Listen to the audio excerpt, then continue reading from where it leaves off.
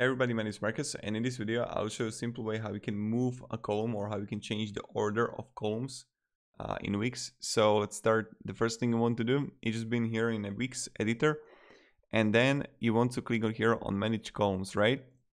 And now we can see that I got only image in uh, column number two. And what can I do? I can simply like move right and now my column is going to be on right or just click here, move left and I will add it as a first column of my uh, strip. So this is pretty much it how we do it. Thank you very much everybody for watching. If you have any questions guys, ask me down in the comments. I'll really happy to help you and provide you some guidance and stuff like that. You know how it goes.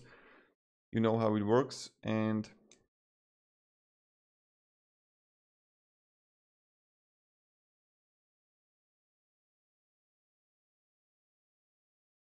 yeah. Goodbye.